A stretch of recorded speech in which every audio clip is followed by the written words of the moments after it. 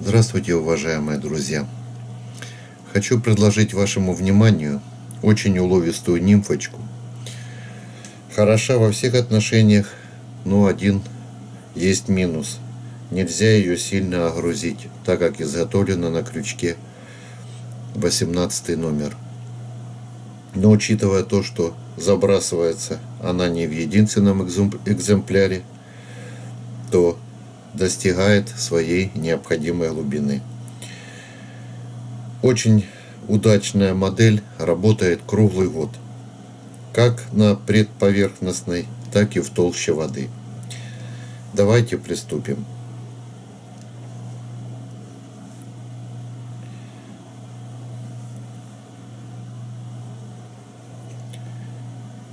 Я взял крючок, огрузил, вернее даже правильно сказать, добавил стеклянную бусинку красного цвета.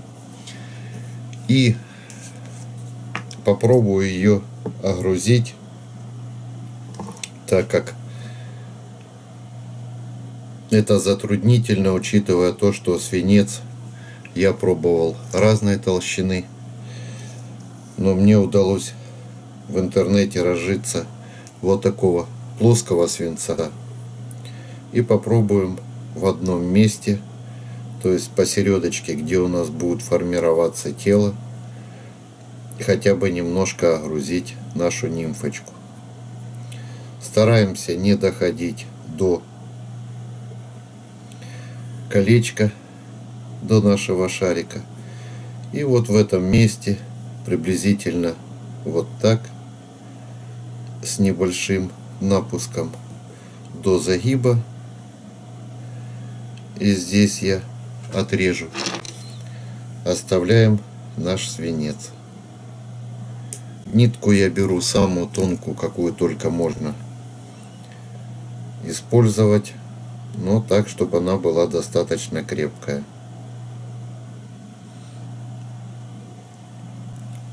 Промажем еще раз клеем и хорошо прихватим уже наш свинец с другим материалом. В качестве дабинга я буду использовать подшерсток скота. Вы можете использовать любой с кролика, так, чтобы он был достаточно мягенький и в то же время хорошо играл в воде. Подтянули, прихватили. И теперь для того, чтобы не мотать в одном месте 10 раз, сразу будем крепить весь материал.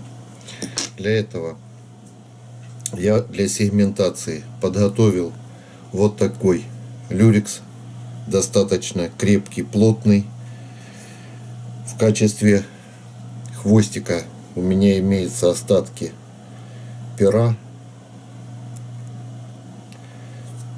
которые мы будем сейчас использовать.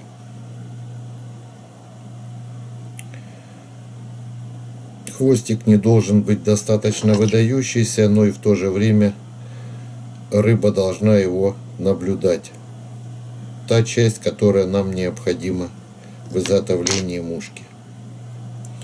Возьмем вот такой небольшой пучочек, вымеряем длину, он приблизительно у нас должен равняться длине нашего тела или чуть-чуть может быть длиннее.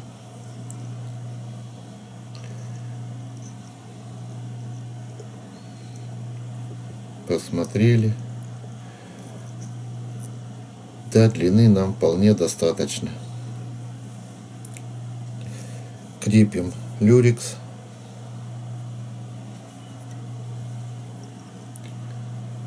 В качестве хвостика можно использовать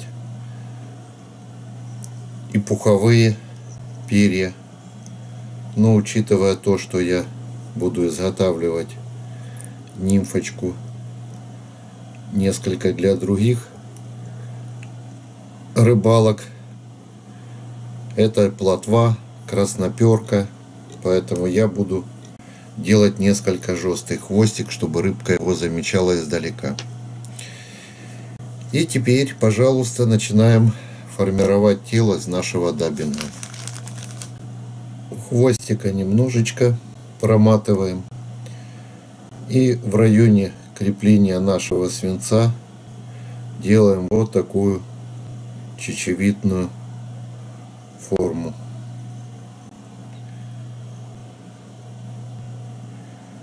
Не стесняемся величины, так как рыбка немножко при двух-трех поклевочках наш объем уменьшит.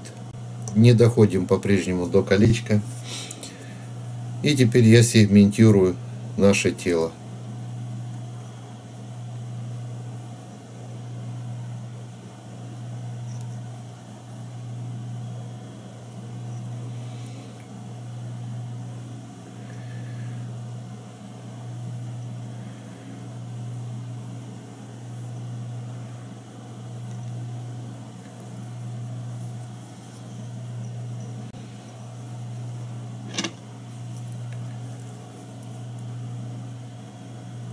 Для изготовления опушки или лапок можно использовать любые перья, какие вы для себя подберете. Перепелки, куропатки. Но учитывая то, что у меня есть вот такая крашеная куропатка, я закреплю ее. Подготовили перышко.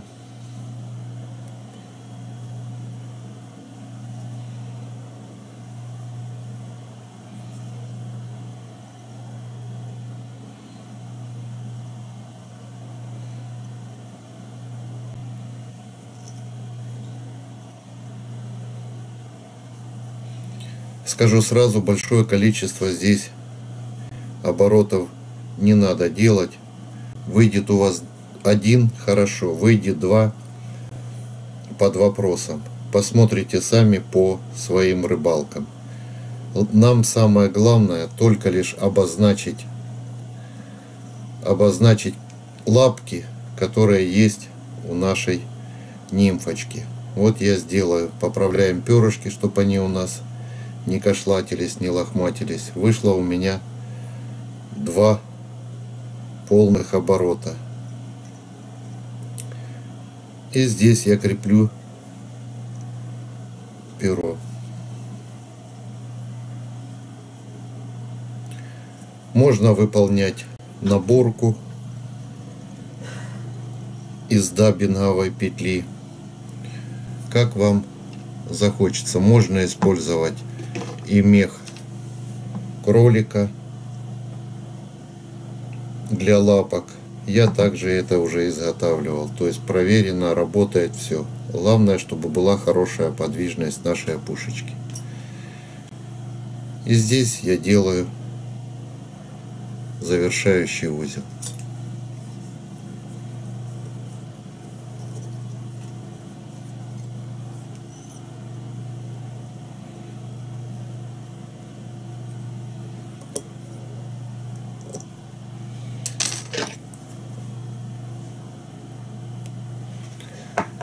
Как вы видите, наша нимфочка проста в изготовлении, не требует дефицитных материалов, но достаточно уловистая.